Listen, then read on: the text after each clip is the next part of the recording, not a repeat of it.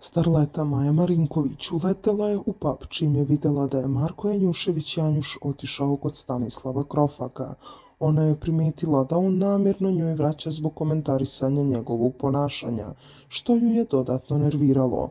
Možemo ona i ja da napravimo svadbu, šta bi falilo da ti i ja budemo isto?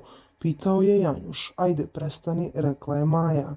Od uvijek ti je bila želja da ti ja pravimo svadbu, govorio je Janjuš. Šta hoćeš da me uništiš, ovako si me... Zeznuo i kvario i vezu sa Filipom, pričala je Maja. Ja da uništim, zamisli sebe u haljini biloj, nastavio je on.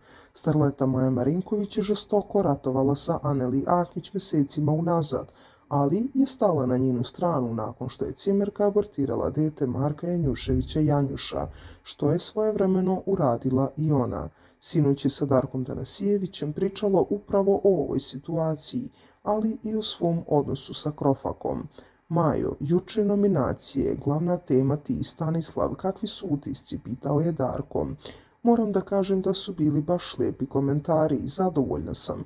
Ja stvarno cijenim mišljenje od drugih ljudi, ovo je moj posao i zaista znam da se sve vrti u krug, rekla je Maja. Anelita je juče sačuvala i zahvalila ti se na ljudskosti, rekao je Darko. Baš lijep gest prema meni, ja sam to i očekivala od one situacije kada sam spustila loptu. To što se desilo je život, nije šala i mislim da je na kraju donela pravu odluku.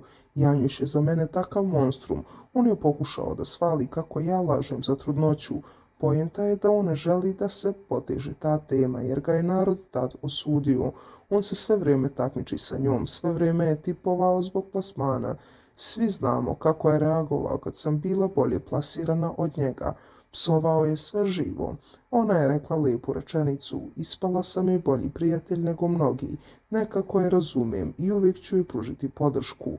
Janjuš je jedan loš čovjek, pravio je dete i meni i njoj i svojim ponašanjem i neodgovornošću je terao na sve to. Valjda su sad tašta i žena zadovoljne, rekla je Maja.